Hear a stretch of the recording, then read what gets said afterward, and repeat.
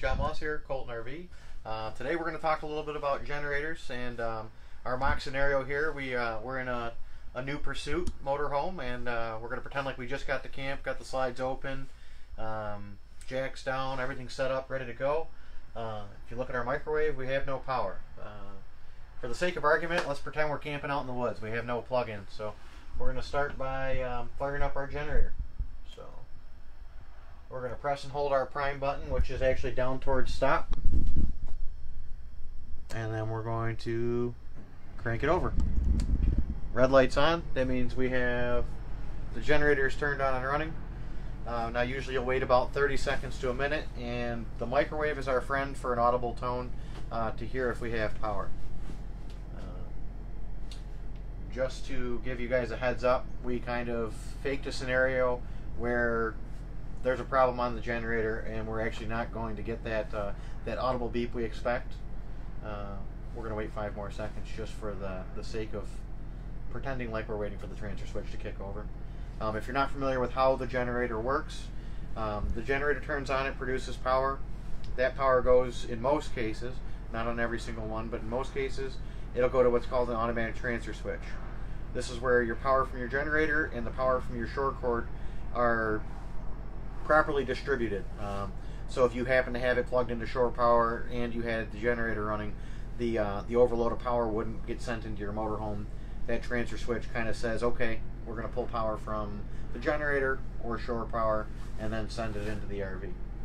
Like I said, we uh, we're in a, a, red flag alarm. Uh, generator's been running for a little while and we still don't have any power coming from the generator. So we're going to show you kind of the first things to look at. Um, number one, I guess you could go through and look at your TVs and see if you got a red light on for any of the TVs and just kind of get an idea. You know, is it one thing that's not working or do we have multiple things that aren't working? This particular case, our refrigerator is 12 volt and 110, so this one's not going to help us. But uh, if you had a residential refrigerator, you know, you could pop it open and see if your light your light is on. Uh, again, this one runs off battery power as well, so it uh, it's not helping us for that. Uh, so we're going to take a walk out. Um, actually, we'll take a quick look in here really quick. I'm trying not to cheat because I know what the problem is already.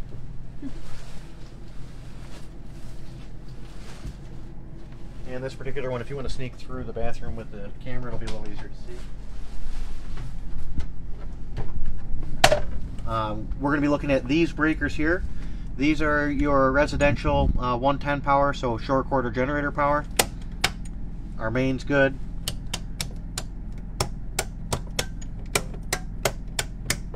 All of our breakers are set and working. So we're going to go back to the source of the power, which is going to be the generator.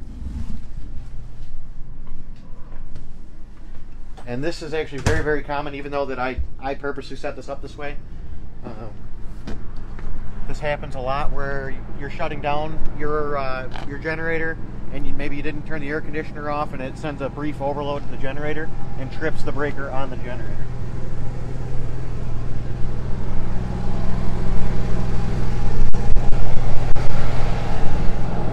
So in one of your basement compartments, your generator is going to be parked. Uh, hopefully you know where that is. If not, just open your open your compartments until you find your generator. This particular one, you grab at the top, pull out towards towards you, and then lift up. And that exposes the. Uh, I'm to close this so you can hear me. That exposes the uh, the engine, the start-stop switch, and the breaker. Over here, there's two breakers. They say on.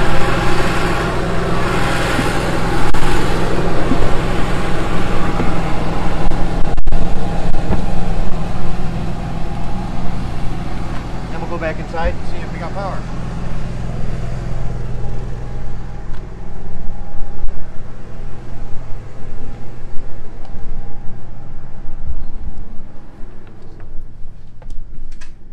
And as you can see, we have uh, we have power on our microwave.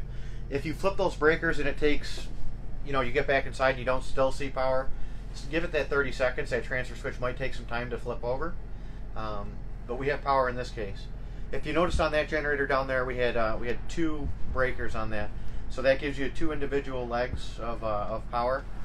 Uh, I'm not going to get into specifics about that too much, but um, long story short, let's say your microwave was working but your air conditioners aren't. Go back down there and double check the breakers to make sure both are on. Um, they tend to split the power off so it's not all loaded up onto one circuit and half your things could be working and the other half may not be. Go back to that generator and check that out. Um, it's very common for one to be broke um, and not engaged and the other one to be engaged. So that's uh, things to keep in mind. Um, that's really all, all I have for today. If you guys have any questions, let us know and we can try and answer them the best we can. Thanks for joining us.